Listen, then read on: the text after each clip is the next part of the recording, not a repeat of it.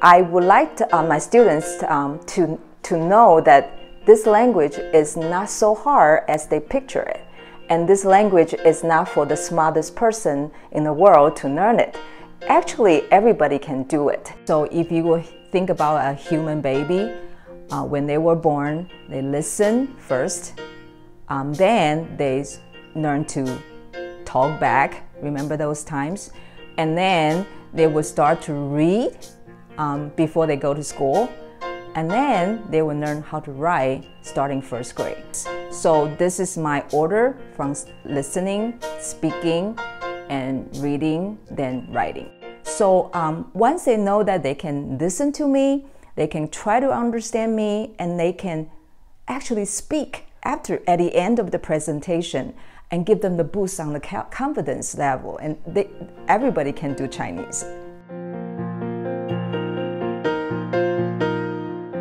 The most difficult part to learn um, Chinese as a foreign language, I personally think, is the speaking part because Chinese is a tonal language.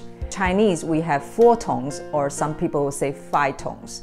Um, so it actually will be going up, um, down, um, up and down, or flat. 饺子、面条、汉堡包，他也喜欢汉堡包。 in tonal languages that you you actually need to do that for each word you say. 红色、蓝色、绿色和黑色。你喜欢什么颜色？我喜欢红色、蓝色、绿色和黑色和白色。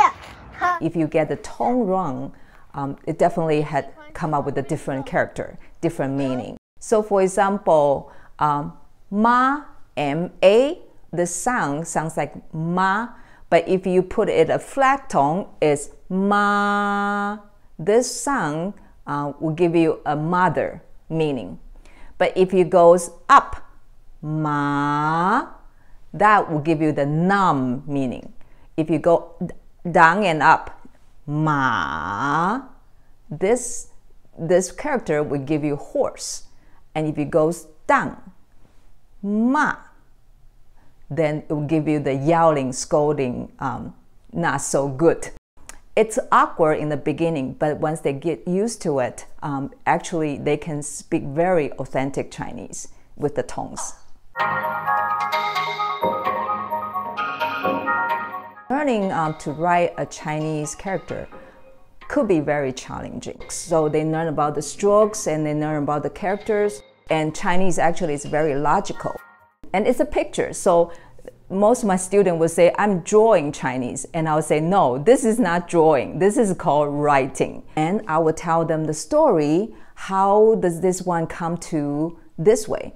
And they will remember the story as they write the character. The character I, 我. Okay, so the 我, I am the first person. And ancient time, if you are survived of the nature of the animals attacked, you can proudly say, I. I am the one speaking. So this word character is a person, you know, with a hand holding a spear. So that is the story for the students to recognize. And there's a spear on the right hand side. So this character together um, makes 我, which means I. And they will be able to um, repeat and writing it and thinking about these fun stories I tell them. Um, of course, I would introduce them some of the uh, fun thing about writing because Chinese writing is an art, and we would do calligraphy to let them um, experience what, what is the life like in ancient Chinese when we are not using pen and pencil, we're using pen brushes. Um, they do know the story behind that. And that's the fun part of learning this character. If it's not fun, I don't know how who is gonna do, do the learning and since it's so difficult. I think that foreign language um, could teach us a lot of not only the study skills, your study strategies, also um, their life lessons. The more you understand other people's language, you could bridge the gap, the different um, cultural differences.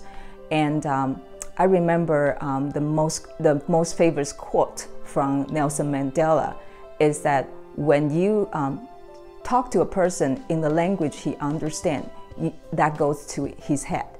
But if you talk to a person in the language that he know, his own language, then that goes to his heart. My final advice for people who are consider um, taking this language, first I would say break your stereotype um, thinking. In Chinese is hard, but not that hard. I like to do immersions because I, I believe that learning a foreign language, the environment is most important factor. Create for yourself some um, speaking environment. For example, um, there are many um, YouTube videos, short clips. Um, there are Chinese music if you like certain artists. 你喜欢什么树？我喜欢大大树。你喜欢什么车？ 我喜欢大大车。你喜欢什么学校？我喜欢我的学校。Talk to people who knows how to speak Chinese, and if you making this speaking part of your daily life, you don't feel like you're learning Chinese. You actually feel like you're enjoying Chinese, and I think the aha moment is what I value the most. And they would start to uh, uh, figure it out and figure it out, and they they get it. And I think if you get it, you make connections at the end, this knowledge is yours to keep forever.